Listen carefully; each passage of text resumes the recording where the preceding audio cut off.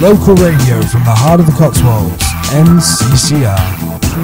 Hello, good afternoon. How are you, Sophia? I'm very well indeed, thank you. Well, thank you for joining us here on the North Cotswold Community Radio Station. You can listen online. We're here at the Moreton Show, and you're kindly going to play some music. You're a songwriter, kind of in a style of Tori Amos and Enya. That's how you describe yourself, that's right? That's right, my piano playing is, yeah. yeah. Good. But you're actually going to be playing acoustic guitar for us, even though you're a piano player as well as a songwriter and singer. Um, you want to play 14 years. Yes, I do, yeah. Yeah, there's a song written about my father. Uh, he died when I was 14 years old.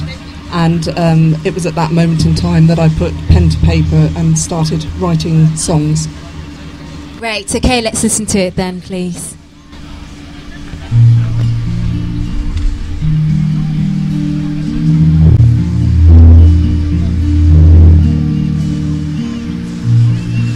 Me to bed one more time. That was lovely, Sophia. Really nice. So tell me a little bit about that song then, please.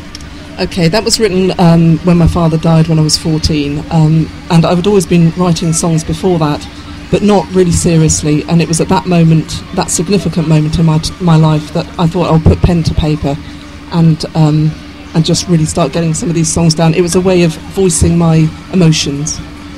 Yes, and you, because I asked you earlier, we had a little chat before this.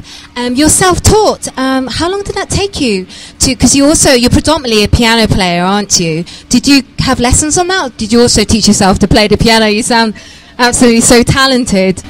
Yes, no, no, I didn't have lessons at all. Um, completely self-taught.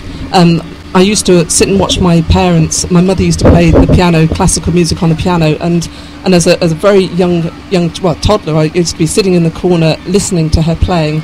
Um, with this, this vast, you know, this, this instrument that was that was frightening for, for sort of a two or three year old child, because of the, the depth of the of the piano and the way she played, and I just admired her, you know, admired her completely.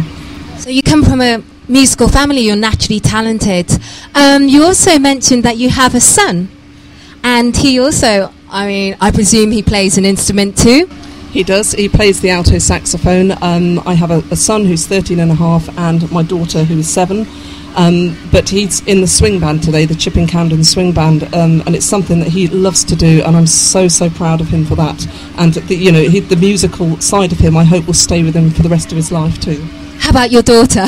Um, she plays the ukulele, so ah, that's an up and coming instrument, the ukulele. it's coming so hip.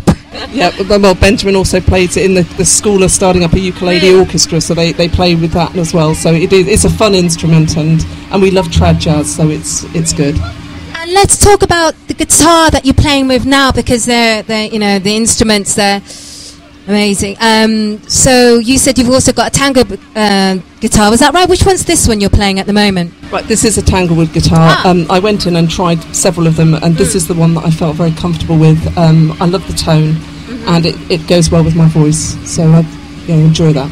That's very compatible. And which is the other guitar that you brought with you? Um, that one's a Fender, um, which is a beautiful sound as well. But uh, for outside, this is this is good. Carries well. Okay, and you've written a few songs and you're developing an album. Where are you? Are you doing this at home? Are you going to a studio? Who's helping you produce your music? I go to the George Schilling studio in Walford. Um, we're nearly completed the, the album Inner Voice, um, and that is just the piano, the voice, and the cello, which uh, George is playing the cello for me, and it just works really well, really well indeed. Fantastic. I also wanted to ask you um, another question. Yeah, so you do come from a musical family. And why now? Is it is it because of the confidence um, you've decided to to make an album? You know, I mean, what did you do before? As I said, I did make an album um, quite a while back, probably about 14 years ago. But having children and things like that, you mm. put your life on hold and my, my musical life on hold, should I say?